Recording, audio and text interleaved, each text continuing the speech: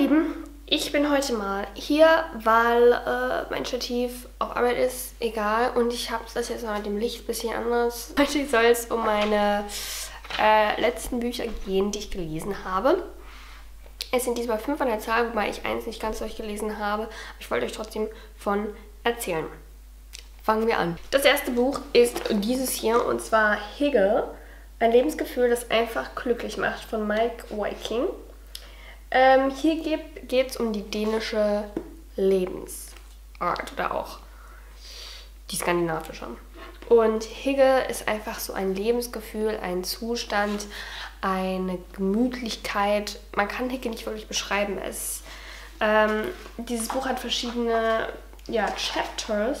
Der Schlüssel zum Glück, Licht, wir müssen über Hügel reden, Gemeinschaft, Essen und Trinken, Kleidung zu Hause. Also Hügel kann sich auf ganz viele Sachen äh, beziehen. Es gibt, es gibt auch noch viel mehr Outdoor-Hügel und so weiter. Und ich bin einfach so verliebt in diese Lebensart und will unbedingt nach Kopenhagen oder einfach ja, nach Skandinavien. Ich finde das so schön, wie diese Gemütlichkeit einfach ähm, das Leben beeinflusst und die Zufriedenheit, die Lebenszufriedenheit. Es ist unglaublich inspirierend. Es hat Spaß gemacht anzugucken. Wenn ich was kritisieren müsste, dann wäre es, dass es irgendwie nichts Tiefgründiges war in dem Sinne, aber man hat sich schon Gedanken gemacht über sein eigenes Leben und wie man das ein bisschen integrieren könnte, so mit Kerzen oder ähm, schön kochen mit Freunden. Geselligkeit auch einfach. Genau, für das, was es ist, würde ich dem Buch aber 4,8 von 5 Punkten geben. Als nächstes habe ich hier To All the Boys I've Loved Before von Jenny Hand. Das habe ich geschenkt bekommen, das Buch. Und ich mochte es sehr gerne, wobei ich jetzt in das Alter komme, wo Jugendbücher ähm, von Menschen handeln, die jünger sind als ich. Also die geht ja noch zur Highschool und so. Und ich fange jetzt so an zu studieren, ne? Äh, bald. Wahrscheinlich. ich werde dieses Jahr 20. Das war ein sehr schönes Buch. Dieses Mädchen schickt äh, aus Versehen an all ihre früheren Geliebten Briefe raus, die sie eigentlich nur für sich selber hatte. So verheim also heimlich geschrieben hatte und nie abschicken wollte. Und ja, das handelt halt darum, wie die darauf reagieren. Und was ich ein bisschen schade finde einfach, ist, dass dieses Mädchen so rumdruckst. So statt einfach mal ehrlich zu sein, spinnt die da irgendeine Lüge auf. Und das finde ich schade. Und das würde ich nicht so machen. Was es auch sehr gut ausdrückt, ist, dass man sich in Menschen täuschen kann. Also manchmal hat man so ein gewisses Bild von jemandem oder denkt, der ist so und so. Aber meistens, wenn wir die Leute nicht richtig kennen, können wir eigentlich gar nichts über den ihre Persönlichkeit aussagen. Und es ist wichtig, immer offen an sowas heranzugehen und an andere heranzugehen. Das Buch würde ich sagen, oh, die hat die gleiche Bettwäsche wie ich. Ist ja lustig. Die hat diese Ikea-Röschen-Bettwäsche. Cool. Ähm, dieses Buch bekommt von mir 3,8 von 5 Punkten. Aber ich mochte es sehr, sehr gern. Das war schön. Ich habe auch gesehen, einige von euch haben sich es nachgekauft. Finde ich auch natürlich sehr süß. Dann das Buch, was ich nicht ganz zu Ende gelesen habe, einfach weil äh, dann ein Buch dazwischen kam, ist äh, dieses Buch, ich habe jetzt den Vorderumschlag nicht drum, aber von Rüdiger Dahlke, Das Geheimnis der Lebensenergie in unserer Nahrung. Da geht es um die vegane Ernährung und er ernährt sich zusätzlich noch roh. Das ist ein Arzt oder ein Mediziner, wie auch immer. Und der ist schon sehr chakramäßig, so die Sonne in den Gemüse und Lebensenergie im Gemüse und Photonen. So ist der ein bisschen drauf, aber es ist sehr spannend. Und ja, ich mag solche Bücher, weil die immer wieder ein Fest, Manifest für meine Lebensweise ja auch sind. Und ich da ja mega dahinter stehe. Ob man das nun so sieht oder anders. Ähm, ja, der geht da ziemlich wissenschaftlich auch ran, aber auch irgendwie übernatürlich so ein bisschen. Es ist eigentlich ziemlich spannend.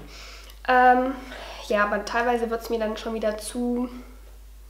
Ja, ich drifte dann ab, so. Es ist ja keine Geschichte, es ist halt, wie sagt man dazu, es ist schon sehr wissenschaftlich oder irgendwie Gelaber, jetzt mal böse ausgedrückt.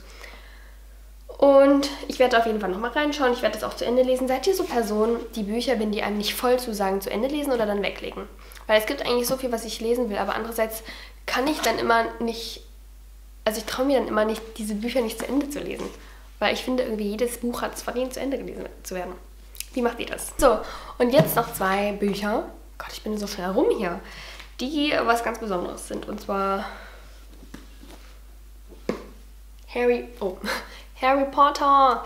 Ich habe die ersten zwei Bände gelesen. Ähm, ich habe die beide ausgeliehen, die sind alles beides nicht meine. Der ist von meiner Cousine und der ist äh, von einem anderen lieben Jungen, einem Freund von meinem Freund. Uh, ähm, Harry Potter. Ich wollte schon immer mal Harry Potter lesen, aber ich habe immer gesagt, das lese ich zur Weihnachtszeit, weil Harry Potter ist für mich Weihnachten. Aber das ist Blödsinn gewesen, weil man kann das das ganze Jahr überlesen. Und ich muss mich, also eigentlich würde ich jetzt gerne jedes Buch hintereinander weglesen, aber es gibt andererseits auch noch so viele andere Bücher, die ich lesen möchte. Ihr seht schon, ich bin ein Fan von Harry Potter. Die haben mich gefesselt. Eigentlich bin ich ja kein so Mensch, der gerne Fantasy-Sachen liest. Aber bei Harry Potter ist es was anderes. Es ist einfach so, wie sagt man, das ist was anderes einfach. Das ist so basic so. Das muss jeder gelesen haben. Und ich habe auch alle Filme gesehen und schon beim ersten Buch, so die ersten Seiten, da habe ich mich schon richtig so stark gefühlt, weil ich mehr wusste als die Leute, die nur die Filme geschaut haben. Und Rebecca erinnert sich vielleicht daran, ich konnte früher, also wir waren mal im Internat, eine ganze Nacht hat sie mir einfach Harry Potter erklärt und ich so, was? Ich, hab da gar nicht, bin da gar nicht hintergestiegen und durch die Bücher, Bücher sind halt was Tolles, das ist richtig tiefgründig. Und die Geschichten sind auch einfach cool.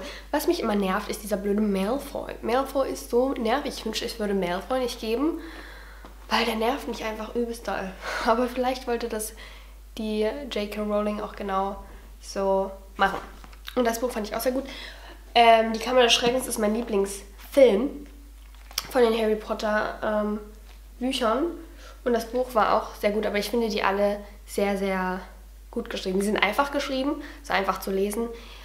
Ich lese die auch auf Deutsch, damit ich einfach den Plot verstehe. So, ich würde das natürlich auch auf Englisch lesen, aber ihr kennt, also das ist so verzwickt teilweise, dass ich da wirklich alles mitkriegen will.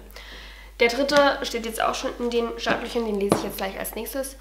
Und ja, Harry Potter ist für mich einfach so Mut, Freundschaft und das Ganze das drückt das für mich einfach aus. Und ich finde, ich sehe zu so Leuten aus, auf, die so mutig sind. Ich könnte das, was der Harry Potter das kann, nie. Ich wäre schon lange tot.